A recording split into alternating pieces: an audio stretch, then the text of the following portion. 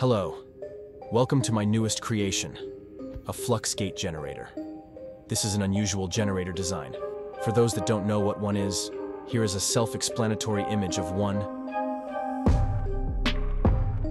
Just kidding.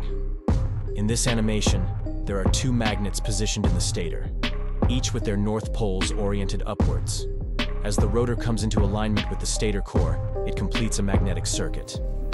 The moment this magnetic circuit is disrupted, alternating electrical current is produced in the pairs of coils. This sped up time lapse shows the assembly. The core is laser cut mild steel to help the magnetic flux path.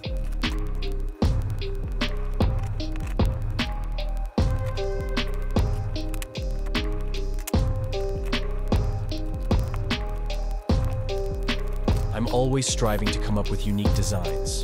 This one is more modular than most, but I think it comes together nicely.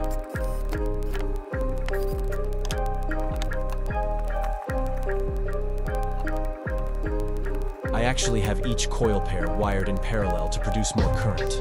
It would take all of you out there to experiment with this platform to unlock its true potential. Let me know in the comments if you're interested, and I will produce kits that include the 3D printed and laser cut parts, as well as the hardware.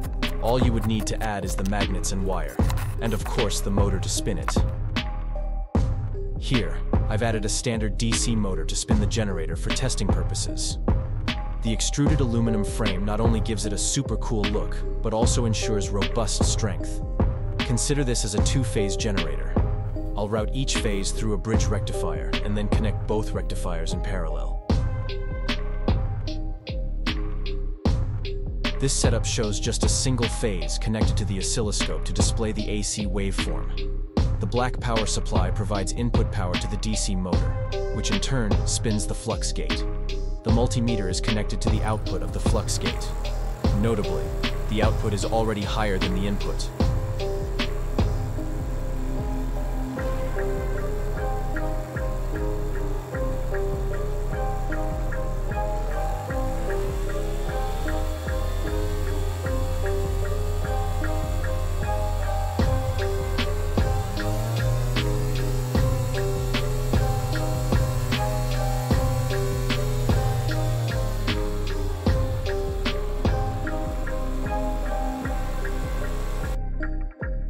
Now, I have connected the flux gate through the rectifiers. Right off the bat, I'm getting significantly more voltage out than what's put in.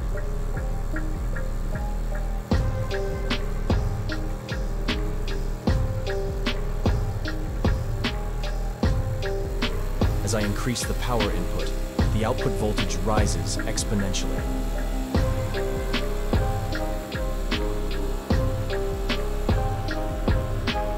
Observe how the input current decreases when I short the flux gate.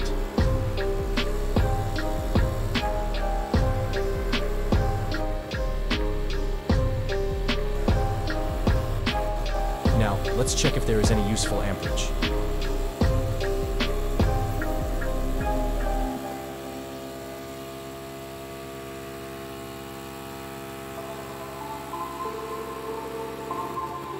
This amp meter is showing almost two and a half amps. It's important to note that as this happens, the input current goes down.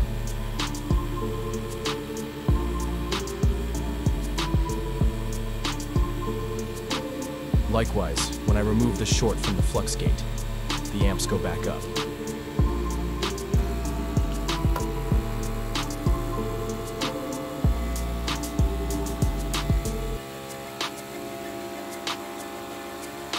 As I increase the input voltage, the speed of the DC motor correspondingly increases, which in turn produces greater effects.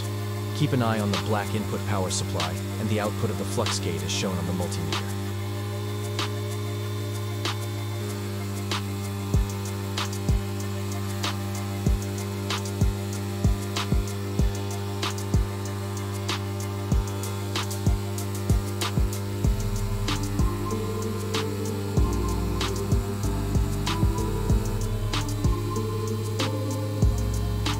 Got 2 amps at 70 volts. Let's do the math. That gives us an output of 140 watts. However, this isn't an over-unity device because when a load is attached, the effect disappears. The challenge now is to figure out a way to extract the output energy under short-circuit conditions. One potential solution could be using a transformer to work with the AC output. I'm interested in hearing any ideas you all might have. Please like and subscribe if you have not yet done so. Thanks.